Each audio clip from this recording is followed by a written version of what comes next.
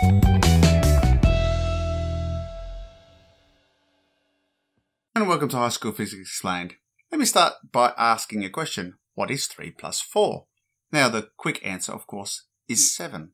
You're making a number of assumptions here, of course. 3 plus 4 are two simple numbers that are integers, and you're adding them mathematically. But what if I asked you, what is my displacement after I initially work 3 meters and then 4 meters? Clearly now, my answer may not necessarily be 7. For example, assuming I walk initially 3 meters like so. I now walk another 4 meters in this case and clearly my displacement is now 7. But what if I walked 3 meters like so, but then I walked 4 meters in the opposite direction? Well, now my displacement is only negative 1 meter in this direction.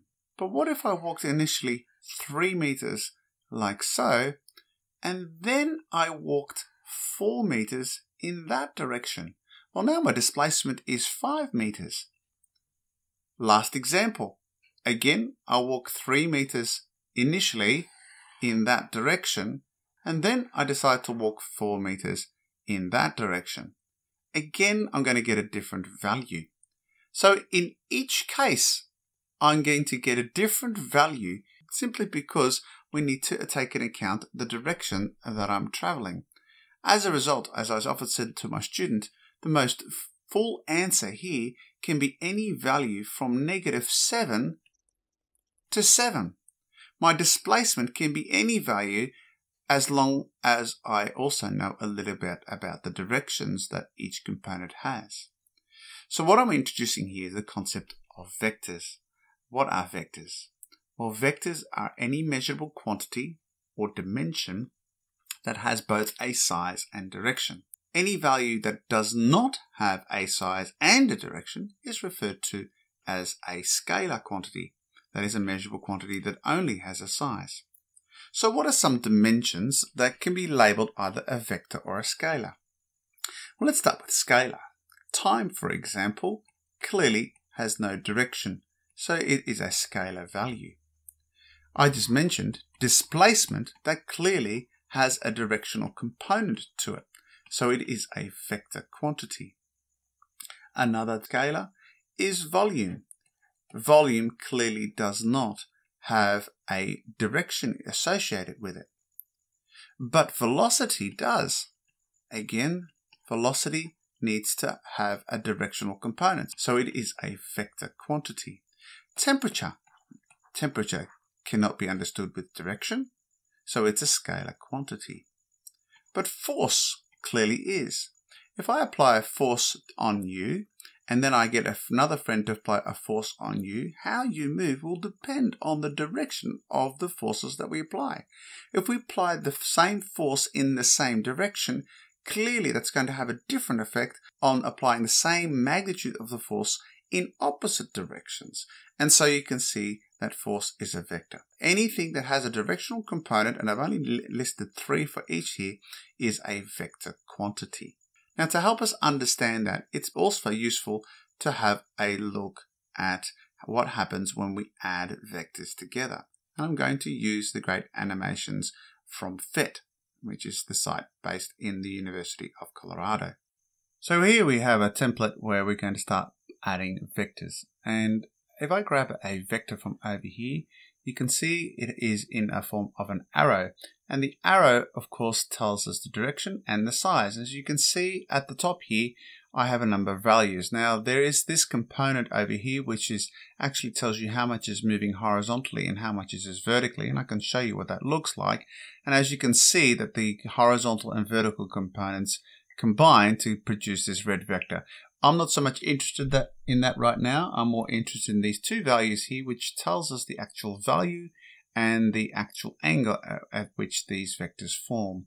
So we're going to turn that off. But clearly we have here a vector. And then I can add another vector like so, and this vector is different, and I can actually make it different by pointing in different directions. How do we add vectors together? Well, when we add vectors together, so like my example where I added the 3 plus the 4, we had them head to tail. And so you can see the head to tail combination here. Now, you can continue adding multiple vectors like head to tail like so, and you can keep the process going along, but depending on how many vectors you want, let's say for, multiple, for a multiple stage journey. The sum of those vectors is the vector that is drawn from the beginning to the end. So for example, if I wanted to add this vector here, you can see that that green vector is the sum total of the result of these vectors. If I change any of these vectors, by the way, my sum total will also change. Now you can see I've disjointed them, but the actual size of the vector is still correct. So if I add, let's say, this vector over to here, and then I added the, get it the right place, and then I added this one here, you can see it adds up nicely. So again, adding vectors means simply adding them head to tail. The resultant is always drawn from the start to end. Now the order at which you add these vectors is not important. So if I were to place this vector first, and then this vector second, and this vector next, and then finally vector over there, you can see that this green line seems to not have changed, and we can prove it by simply moving it there. So in other words, when vectors add up, the order at which you add them up is inconsequential. So what we often say is mathematically is that they are commutative. What that means is, is that vector A plus vector B is the same as vector B plus vector A.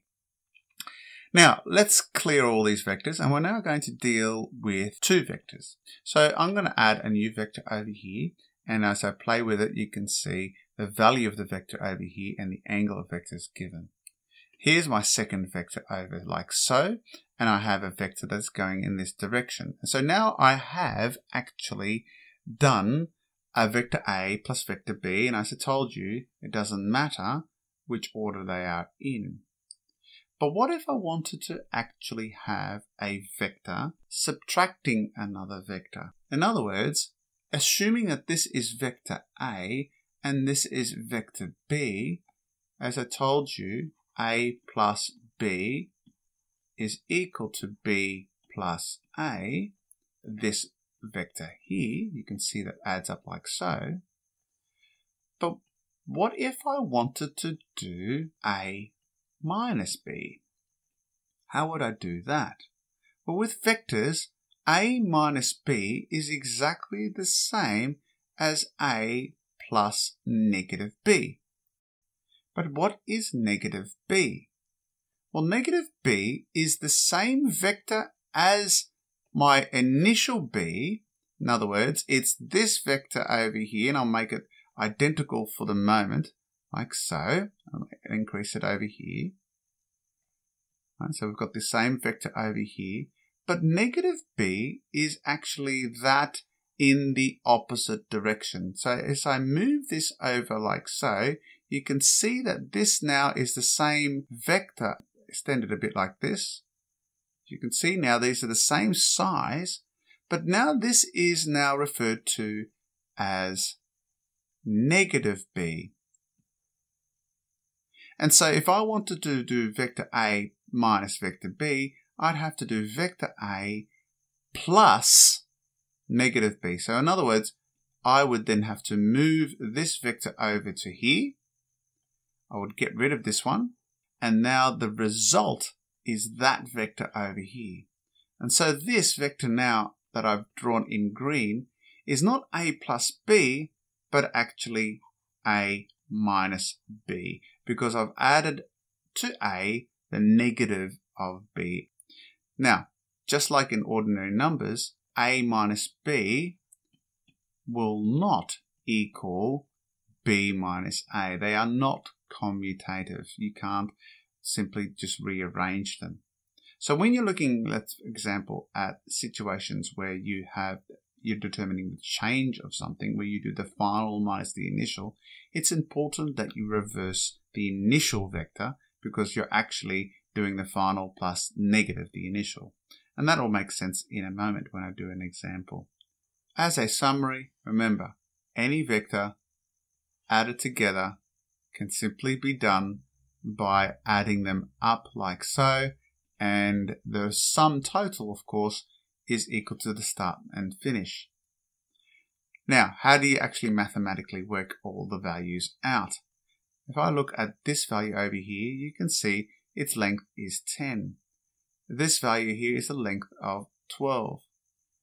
What is this value? Well, you can see that is equal to the square root of this length squared plus this length squared. So 10 squared plus 12 squared is equal to 244 and the square root of 244 is 15.6. The angle, of course, can be worked out. So if you use trigonometry, the angle given here, by the way, is the angle that is sitting here to the horizontal. So the way to work that out is just to move these vectors down here. You can see that hasn't changed. In this case, I would have the tangent of this angle equals this value, which is 10, divided by this value, which is 12. And so you should get an angle less than 45. That's the case. You can see that can be worked out. But I'll show you that in some examples now. So now that we have a better understanding of adding vectors, let's have a look at a few mathematical problems that we can work out. So here I have a question. I have I walk 5 kilometers north and then I turn east walking 12 kilometers. And we're determining what is my total displacement, knowing that both the size and the direction are important in working this out. So let's start by taking my 5 kilometers north. So here's my 5 kilometers north like so. And then I walk a total of 12 kilometers towards the east. What is my total displacement? Well, my total displacement is from start to end, and so that green vector represents the sum total of the two vectors. Mathematically, how do we work that out?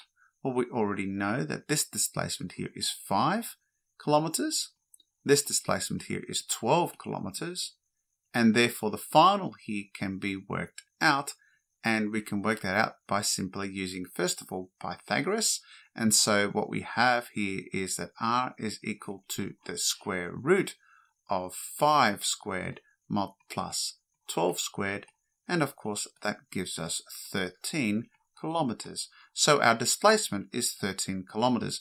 However, you need to understand when you are talking about vectors, you must give both a size and a direction. So just saying 13 kilometers is not enough. You need to work out the direction. Now we can work out two directions. We can either work out this direction over here, or we can work it from this direction. Both are equally valid. But it's important that whatever angle you choose, you refer directly to the north, east, south, west components. So let's use, for example, I'm going to use this particular angle right here. Now, you'll see, of course, that this vector over here can be moved over here, and so that is no problems. I can work out that vector as well. As you can see, that 5 can also be moved over here, and that works fine as well. So you can see there's no problem so that if I work 5 north and 12 east, I can do the same thing by doing 12 east and 5 first, as I stated before. They are commutative, that is, they a plus b equals b plus a. So let's work out that angle. Well, the angle, of course, can be worked out by using simply tangent.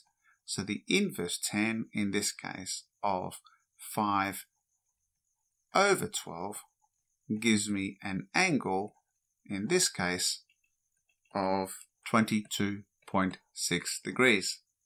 Now that is not, of course, enough because where is that 22 degrees? And I usually uh, write it down in this direction. So you look at the east-west line. In this case, this angle is along the east vector over here, and then it's moved towards the north by our 22 degrees. So what you say is you say you start east, you then go 22.6 degrees, and you're heading towards the north. So that's one way of referring to it.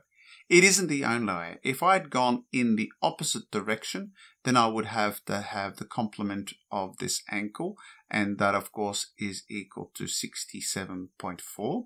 So I'd start north, I'd head 67.4 degrees towards the east. So that is the same actual angle. Both are okay.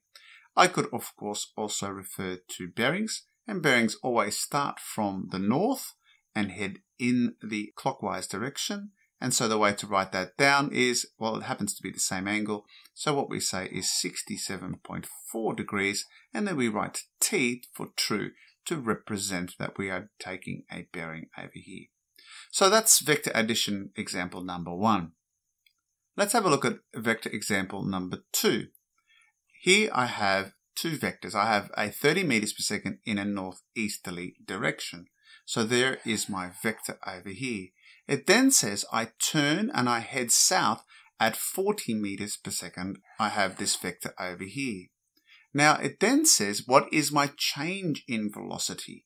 So this is my final velocity and this is my initial velocity and the change is the final minus the initial. But if you know with vectors is that we add them always. So of course final minus the initial is the same as the final plus the negative initial. And so if I wanted to work out the difference here, I'd have to get my final, which is my V, and then I have to add this one, but the negative of that. Now this is my negative vector of that, and so I add it like so. And so as a result, the answer to the change ends up being this vector. Now I'm going to move these vectors over so that we've got a bit of space to work with. And the question now is, is how do we solve that? Well, again, let's write down what we know. We know that this value here is 30. We know that this value here is 40. And what is actually this value over here? Well, the thing we also need, of course, is that angle there. Now, since we know this is 45 and this is 90, we know this is straight away 135 degrees. And so therefore we would now use the cosine rule. So c squared is equal to a squared plus b squared minus 2ab cos c. And now let me do this nice and quickly for us. So that's, of course, c squared, and that means c is equal to 64.8 meters per second. Now, that is only, of course, the actual magnitude of it, we now have to work out the angle. And in this case, we're going to work out this angle over here. It's the simplest because we already have the south line over here. And by that, of course, we'll use the sine rule. So if we use the sine rule, we can say 30 over my unknown angle, sine angle, must equal this value, which is 64.8, over the angle of the sine 135. And that of course that means that our sine x is equal to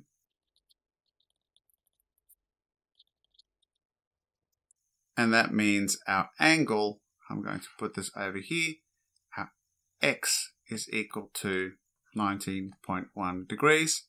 Because we're starting from the south, we therefore say the actual direction starts from the south 19.1 degrees and we're heading towards the west. So there is our answer. 64.8 meters per second at an angle of south 19.1 degrees west. So there you have it. A basic beginning of vectors, at least in two dimensions. I hope that has helped you. Thanks for watching. Bye for now. I hope you found that video useful. And remember, like, share and subscribe. Oh, and if you have a comment or a question, or you'd like a concept for me to explain to you, please drop a comment down below. I'm Paul from High School Physics Explained. Bye for now.